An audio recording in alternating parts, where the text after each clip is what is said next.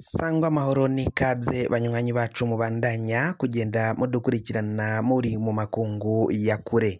Mwese mudukurikirana muherereye ku mugabane w'abanyamerika mwese mudukurikirana muherereye ku mugabane w'abanyaburaya bari hirya nino ku mugabane wa aziya mwese muri ngaha mu bihugu vy'ibibanyi mu burengero muri kongo mu buraruko mu rwanda mu buseruko muri tanzania namwe muri mu bumanuko zambia abari ngaha mu gihugu cacu c'uburundi intara makomine imitumba ubucimbira imisozi bigiye bitandukanye bivanye n'aho buri umwe wese adukurikirana aherereye mwese mwese ndabahaye kaze fyonda subscribe niba ukoresha ururimi rw'icongereza canke niba ukoresha ururimi rw'igifaransa fyonda sabone. Hamuraca ujya ngaha iburyo urafyonda no kwako kantu kameze nk'agakengeri amakuru ibiganiro dutohoza umwanya ku mwanya. Bizaja bigushikira aho uzoba uherereye hose ku isi. Amakuru azinduke ngaha mu gihugu cacu Burundi aribanda cane ku ngingo z'umutekano. Umutekano biraboneka ko wakajijwe. Umutekano wakajijwe inyuma yaho babona ko hari uguhungabana k'umutekano. Vyaciye biba ngaha mu gihugu cacu Burundi. Ndayishimiye arafise ubwoba bukomakomeye cane ari zo mvo zatumye abandanya akora impinduka mu vya gisirikare abasirikare benshi yaciye ahinduranya canke bamwe akabavana mu bibanza abandi akabirukana bamwe akaba shira mu bibanza bishasha abandi nabo akabahinduranya. Uyu nsaguye Pacifique Silas biravugwa ko rero ngo we yakoze amakosha akomakomeye cane. Ubwo barungikaga abasirikari muri Congo avuga ko yagomba ni we ngo yatanze icyiyumviro c'uko ngo ingabo z'u Burundi nizija ngaho mu gihugu ca Repubulika iharanira intwaro rusange ya Congo zigomba kugenda zitambaye impuzankano canke umwambaro w'igisirikare c'u Burundi ngo vyabonetse ko rero kwari ukwihenda iciyumviro carimwo amakosha menshi cane ariko nabwo hakibazwa kuki abaciye bamwumvira bakaba babonye ko bivyaye ivyago canke ibibazo mu nyuma bagaca bamwagiriza ko yakoze amakosha kandi barafatanije mu kugaba no gutegeka ko izo ngabo zizarungikwa muri Congo zizohabwa impuzu n'umwambaro w'igisirikari w'igihugu ca Repubulika iharanira intwaro rusangi ya Congo. Ndayishimiye rero ntago ari aho yakoze impinduka gusa kuko n'ishuri rikuru rya isikamu naryo yaciye arihindurira. Umukuru atwara iryo shuri rya gisirikari ryigisha nyine intwazangabo n'abasirikari bakuru ngaha mu gihugu cacu c'u Burundi amakuru w'igihugu Varisito ndayishimiye ngo biraboneka ko afise icoba gikomakomeye cane mu guhindura izo ntwazangabo ngo hari amakuru yo mu iperereza y'umukuru w'igihugu c'u Burundi atari irya jede nk'uko ryari risanzwe ritwagwa. Na Nsaguye kuri ubu ngubu bikavugwa ko rero umukuru w'igihugu Varisito Ndayishimiye yaciye amenyutsa amakuru y'uko hari bamwe bamwe mu basirikare bakorana n'ibihugu vy'abansi mu kurungika abasirikari ngaho mu gihugu ca Repubulika iharanira intwaro rusange ya Congo vyaciye vyunyura abo basoda bakorana n'ibihugu vy'abansi ugukorana vya bugufi. Intambara baciye barungikwamwo ngaho mu gihugu ca Repubulika iharanira intwaro rusangi ya Congo bakaba ngo bagiye kugwana eh, n'umuhari wa M23 aho bagwana n'uyo muhari bafatanyije n'insoresore za Wazalendo Ndembere mbere kandi na FARDC n'izindi ngabo za SADC ziri ngaho muri ico gihugu ca Repubulika iharanira intwaro rusange ya Congo. Aho bariko baragwana kugira ngo barabe ko bogarukana ubutaka n'imitungo ngo iriko irasahurwa n'igihugu c'u Rwanda nk'uko bagenda bagiriza abanyarwanda ko ari bo bahanganye nabo. N'umukuru w'igihugu c'u Burundi Varisito Ndayishimiye iyo barungika izo ntwazangabo ngo bivugwa ko ibintu bibandanya gukomera cyane ngaho mu butegetsi bw'igihugu cya repubulika iharanira intwaro rusange ya kongo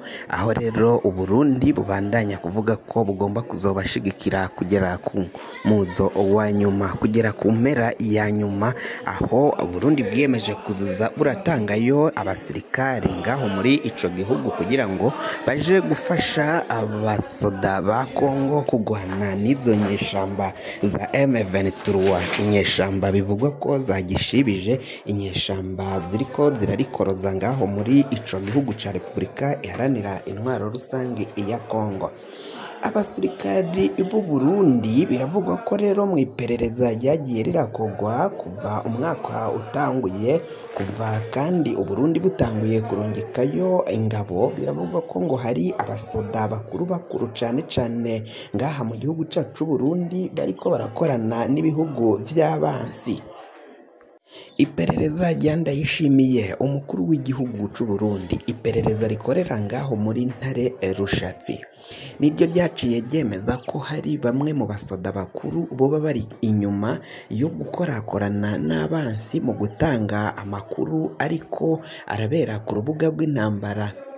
Nibo ngo baba baratanze amwe mu makuru y'ukungeni igisirikare ca Kongo kigomba guha igisirikare cy'u Burundi impuzankano canke umwambaro w'ico gihugu ca ca Kongo kugira ngo abarundi bazogwane muri iyo ntambara bambaye imyambaro y'igisirikare ca Kongo ngo umusoda mukuru rero warungitse abo basirikare ngaho muri Kongo akazana n'iciyumviro c'uko ngo bagomba kwambara impuzu z'igisirikare ca Kongo akaba ari umurundi ngo baravuga ko rero yoba yarakoranye n'abansi cane bikomeye akaba ari zo mvo ngo zatumye umukuru w'igihugu Varisito Ndayishimiye amukura mu mabanga akamukura mu kibanza ce yahoramwo.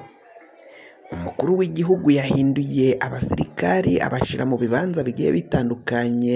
Yoba n'ishuri rikuru rya isikamu naryo baciye barihindurira. Umwarimu cyangwa uwuriyobora yarasanze atwara iryo shuri rikuru rya isikamu amakuru aremeza neza ko ibiriko biragenda biba mu butegetsi bw'igihugu cy'u Burundi gukora impinduka mu gisirikari bifitaniye isano n'intambara iriko irabera ngaho mu gihugu cya Repubulika iharanira intwaro rusange ya Kongo. Benshi bakaba bariko barasaba amakungu barasaba amahanga kuraba iby'iyo ntambara iriko irabera ngaho mu gihugu cya Kongo kuko ngo ibihugu bitanguye kuboneka ko hari ico vyakabaye bikora.